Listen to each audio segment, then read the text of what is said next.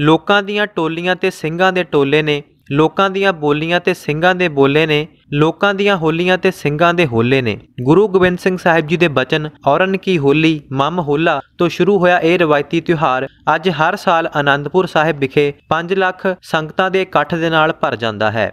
ਅੱਜ ਦੇ ਨਵੇਂ ਖੂਨ ਵਾਲੇ ਕੁਝ ਨੌਜਵਾਨਾਂ ਨੇ ਇਸ ਤਿਉਹਾਰ ਦੇ ਵਿੱਚੋਂ ਸ਼ਾਇਦ ਧਾਰਮਿਕ ਵਿਰਤੀ ਦਾ ਸਥਾਨ ਖਤਮ ਹੀ ਕਰ ਦਿੱਤਾ ਹੈ, ਜਿੱਥੇ ਸਾਰੇ ਲੋਕ ਗੁਰੂ ਗੋਬਿੰਦ ਸਿੰਘ ਸਾਹਿਬ ਜੀ ਦੇ ਦਰਸ਼ਨ ਤੇ ਸੰਗਤਾਂ ਦੇ ਸੇਵਾ ਦੇ ਲਈ ਇੱਥੇ ਪਹੁੰਚਦੇ ਹਨ।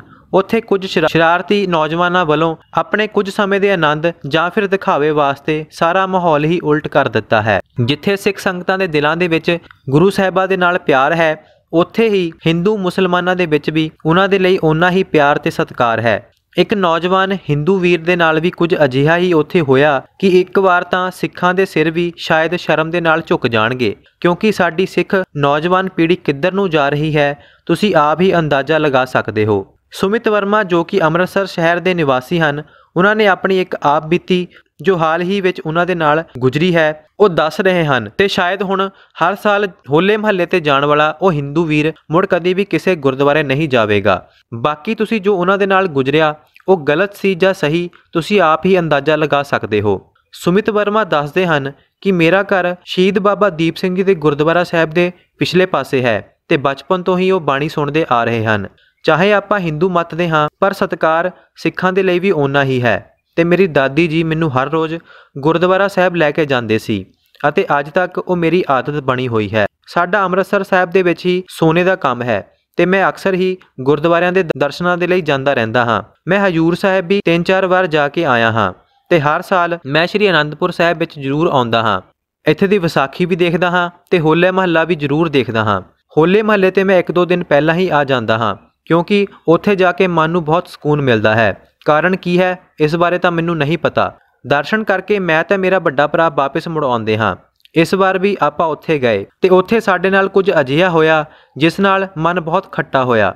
ਸ਼ਾਇਦ ਸਾਡਾ ਦਿਲ ਹੁਣ ਕਦੇ ਵੀ ਉੱਥੇ ਜਾਣ ਨੂੰ ਨਹੀਂ ਕਰੇਗਾ। ਮੈਂ ਤੇ ਮੇਰਾ ਵੱਡਾ ਭਰਾ ਗੁਰਦੁਆਰਾ ਕੇਸਗੜ੍ਹ ਸਾਹਿਬ ਵਿੱਚ ਦਰਸ਼ਨ ਕੀਤੇ। ਬਹੁਤ ਆਨੰਦ ਆਇਆ। ਕੁਝ ਸਮਾਂ ਬੈਠ ਕੇ ਕੀਰਤਨ ਸੁਣਿਆ ਤੇ ਫਿਰ ਵਾਪਸ ਜਾਣ ਦੇ ਲਈ ਬਾਹਰ ਆਏ। ਮੇਰੇ ਭਰਾ ਨੇ ਮੈਨੂੰ ਕਿਹਾ ਕਿ ਕੋਈ ਨਿਸ਼ਾਨੀ ਲੈ ਚੱਲਦੇ ਹਾਂ, ਤਾਂ ਆਪਾਂ ਬਾਜ਼ਾਰ ਦੇ ਵਿੱਚ ਘੁੰਮਣ ਲੱਗੇ, ਜੋ ਬਾਹਰ ਹੀ ਖੁੱਲੇ ਦੇ ਵਿੱਚ ਲੱਗਿਆ ਹੋਇਆ ਹੈ। ਆਪਾਂ ਘੁੰਮਦੇ ਘੁੰਮਦੇ ਕਾਫੀ ਅੱਗੇ ਨਿਕਲ ਗਏ। ਅਚਾਨਕ ਹੀ ਪਿੱਛੋਂ ਬਹੁਤ ਜ਼ੋਰਦਾਰ ਪ੍ਰੈਸ਼ਰ ਦੇ ਨਾਲ ਹਾਰਨ ਵੱਜਦਾ ਹੈ।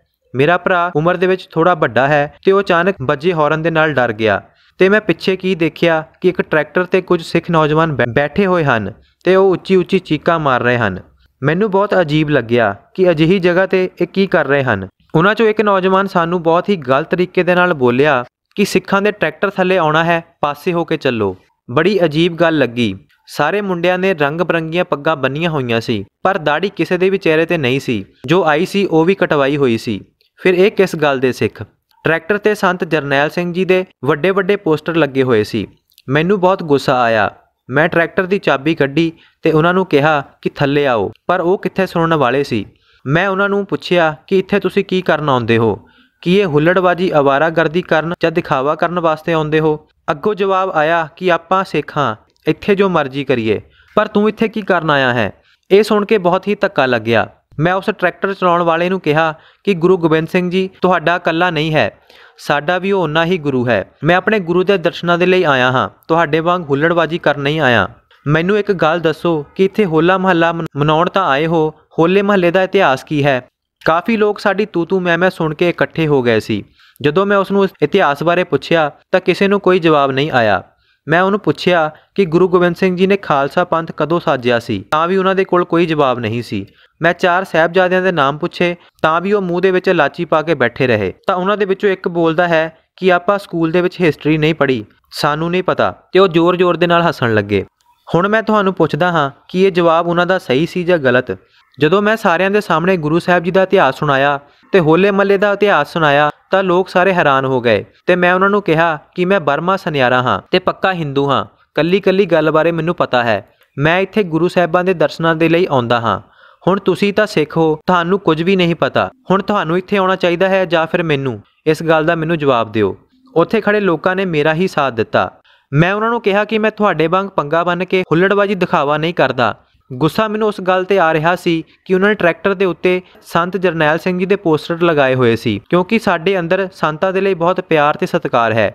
ਉਹਨਾਂ ਦੇ ਨਾਮ ਥੱਲੇ ਇਹ ਲੋਕ ਕੀ ਕੁਝ ਕਰ ਰਹੇ ਹਨ? ਮੈਂ ਕਿਹਾ ਕਿ ਸੰਤਾਂ ਦੀ ਤਸਵੀਰ ਲਗਾ ਕੇ ਤੁਸੀਂ ਕਿਹੜਾ ਸਿੱਖੀ ਵਾਲਾ ਕੰਮ ਕਰ ਰਹੇ ਹੋ? ਤੁਹਾਨੂੰ ਸੰਤਾਂ ਨੇ ਇਹੀ ਕੁਝ ਸਿਖਾਇਆ ਸੀ? ਇਹੀ ਸੰਤਾਂ ਦੀ ਸੋਚ ਸੀ?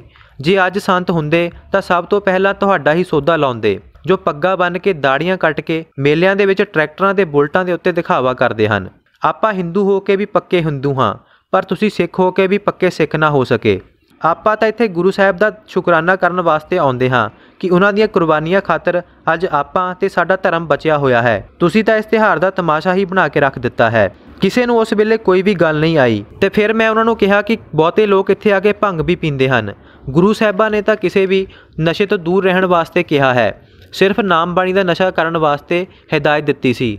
ਪਰ ਤੁਸੀਂ ਲੋਕਾਂ ਨੇ ਤਾਂ ਇੱਥੇ ਮਜ਼ਾਕ ਹੀ ਬਣਾ ਕੇ ਰੱਖ ਦਿੱਤਾ ਹੈ। ਅੱਜ ਤੁਸੀਂ ਲੋਕ ਆਪਣੇ ਹੀ ਧਰਮ ਦੇ ਆਪ ਆਪ ਹੀ ਦੁਸ਼ਮਣ ਬਣੀ ਬੈਠੇ ਹੋ।